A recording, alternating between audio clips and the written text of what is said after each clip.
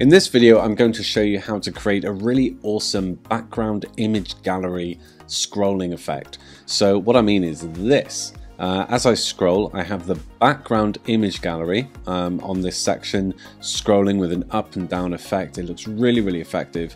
Now, often when you have something that looks like this, the the actual image gallery would be a static image and then there's a background overlay over the top. But as you can see, this is all interactive and really, really beautiful. It's a great way to show off um, a range of images. So if your service is very image based, very visual, and you've got some, you know, after shots or whether you're a photographer and you, you want to show a range of your work, this is a really great way to show off that range. And just to show you that it's a background, uh, we've, it's, you know, it's not clickable. There's an overlay over the top and then we have a testimonial carousel in the forefront here. Um, and if you'd like to know how to build that with a custom post type, check out my other videos. Um, but yeah, this is a really powerful way to show off a range of images for your service. Um, obviously, if I was using this, I would have a, a few website pages, uh, page images, um, home pages here, there, and everywhere to give people an idea of uh, the, the flavor of my designs. So, yeah, really, really powerful um, effect and not too difficult to build in Elementor. So, let's have a look under the bonnet. Here I am in the Elementor interface, and uh, if this looks a bit different to you, uh, Elementor has now made the editor bar a default setting. So uh, if, if you want to have this editor bar, then pop along to your Elementor settings and check out the features, and you just need to activate that. Uh, but the Elementor editor bar is really quite fantastic, and uh, I would recommend you switch on over to that. It's very cool. Okay, so uh, what we're going to do is pull apart everything. I'm just going to show you what is where and how it works. Uh, I'm not going to do a, a, fresh build through because I don't want this video to be too long. Uh, but if you would like to go to the description below, uh, you'll see a link to a blog post where I've got the different container settings just so you can go through as like a sort of a checklist. So, so check out that description below. Right, so to, to get this, uh, we first of all have to have obviously a top container. So uh, you would click here and create this one here that's labeled first example. And this one doesn't have so many essential settings to be honest. It's, it really is just a top container. The most important setting, aside from the background color, which you can you know define, so that's what comes through there, the most important setting is on layout and additional options, and you need to make sure that overflow is set to hidden. Okay, so uh, that's that's the most important setting for this top container. This is also the container that you would use to apply any uh, shape divider to. So uh, if, if you're liking this effect where the, the gallery disappears into the shape divider, that's the container you'd want to uh, apply that to.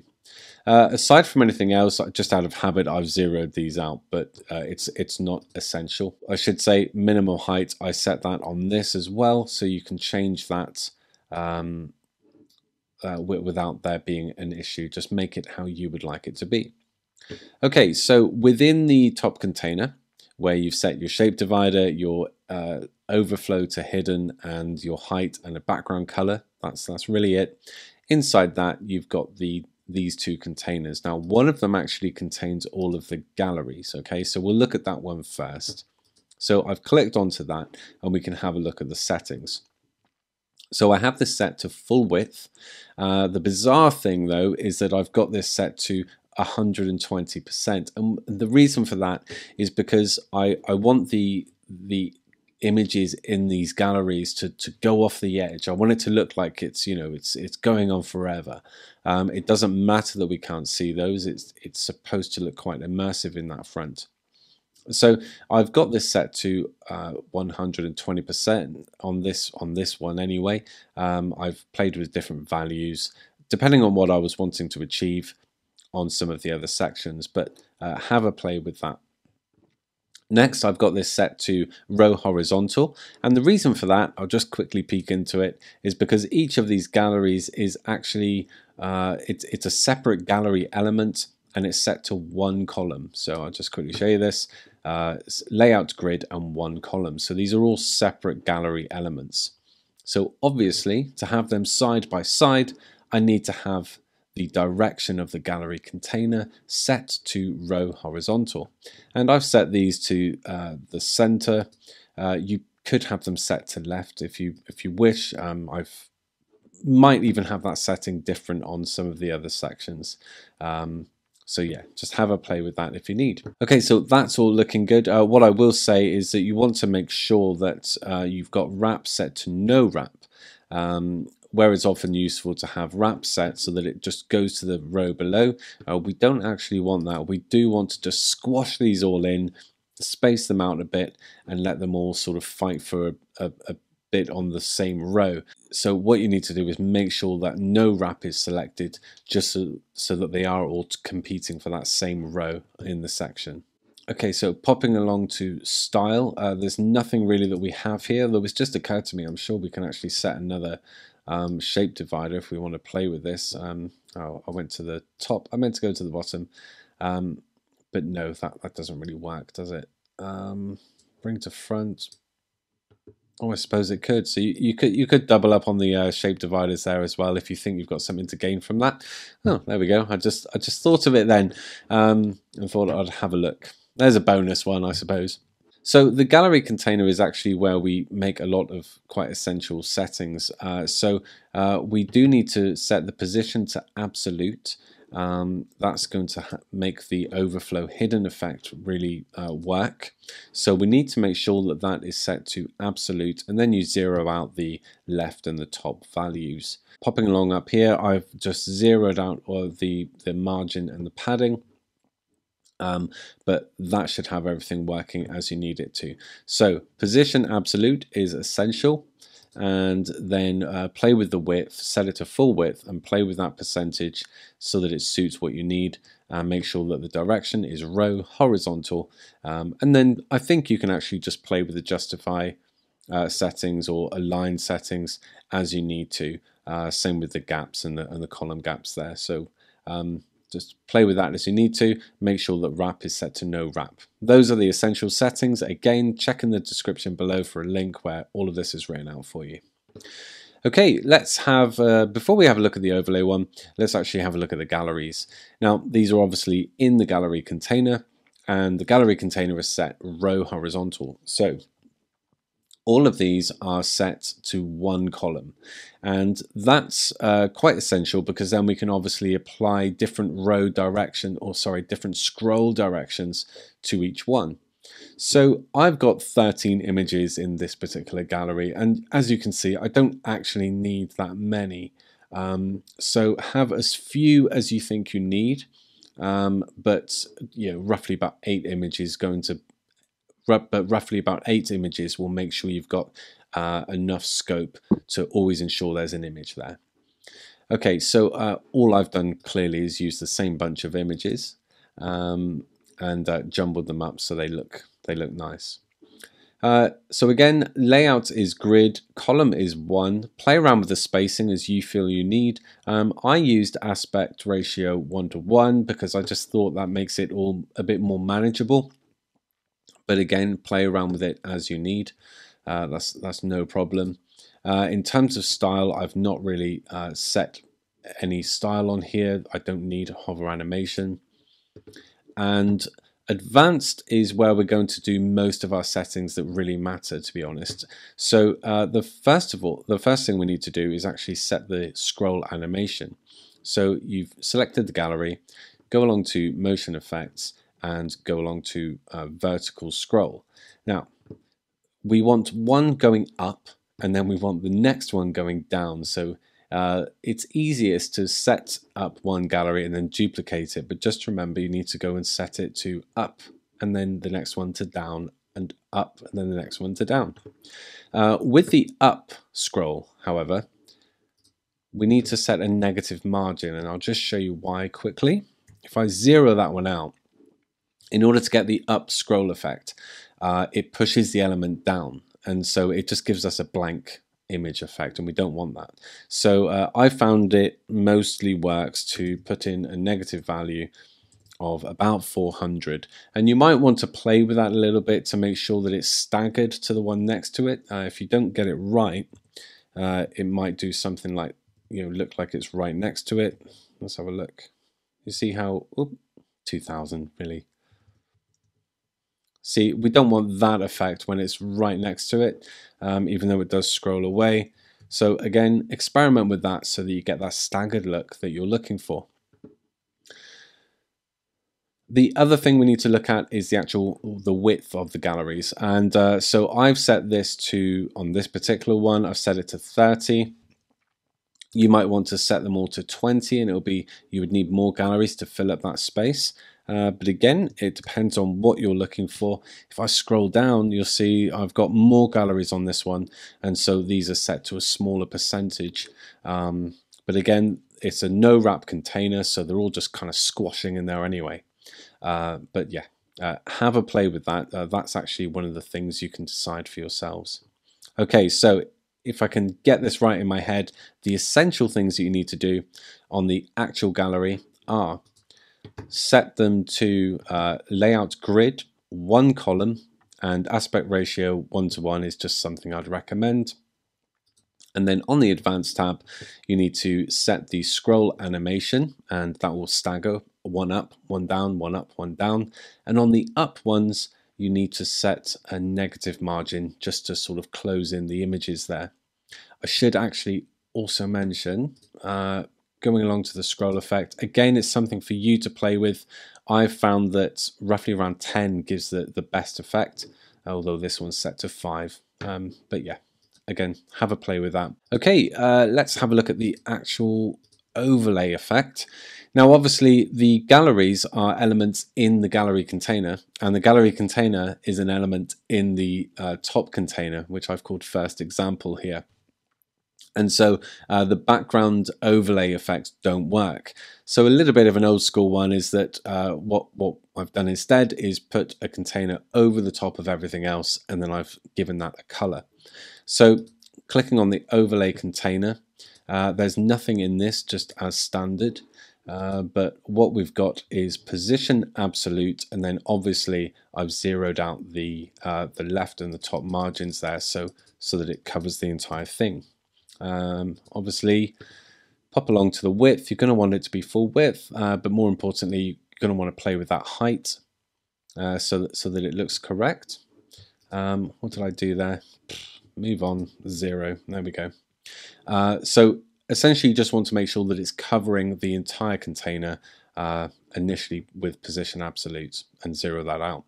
Now, if you are looking to have some content uh, like the testimonial carousel, this is where you would actually place that content. So as you can see, I've got the overlay or content tab uh, container here and this is actually where I've got the loop carousel. So you can use this uh, the, the justify settings the alignment. You can use this as you would any other uh, section or container. Um, so you know that will work really well. And then obviously this is what you apply it being the overlay and uh, you know effect this is where you apply the colors uh, just play with the opacity there just to uh, have the images coming through as you would like. Okay, but again, remember all of that is you know going to be on the link below. So if you're feeling a bit lost, follow that link and you'll have a few checklists and you can just go through that. To take this a bit further, uh, if you would like to apply something like a, a skew effect, uh, you would apply that to the actual gallery container because that, that contains all of the galleries. And so as you apply it to the, the container itself, it will tilt all of the galleries in one go. And you can get some really great effects with this. So uh, if I pop along to the advanced tab on this gallery container here, um, I'll give you a bit of a show on this. Uh, we've got rotate, so I can I can zero that out. I, have got a 3D rotate on that one at the moment, um, but we can do uh, a normal rotate. So if I just boost that up a little bit,